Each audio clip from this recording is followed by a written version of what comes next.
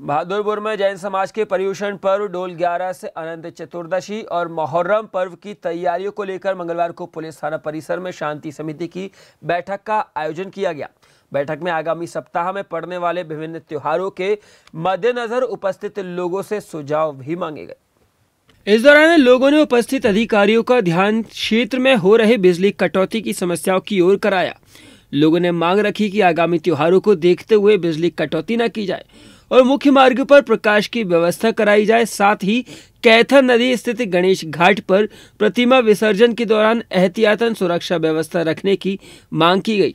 बहादुरपुर थाना प्रभारी फहमीदा खान ने उपस्थित जनप्रतिनिधियों एवं नागरिकों से आगामी त्योहारों को शांतिपूर्ण तरीके से संपन्न कराने की अपील की। बैठक में नायब तहसीलदार अरविंद दिवाकर, महिला कांग्रेस सचिव मंजू जैन मरारी लाल शर्मा, सुनील अरोरा, प्रवीण बांझल सहित पत्रकार गण पुलिस और राजस्व विभाग का स्टाफ मौजूद रहा।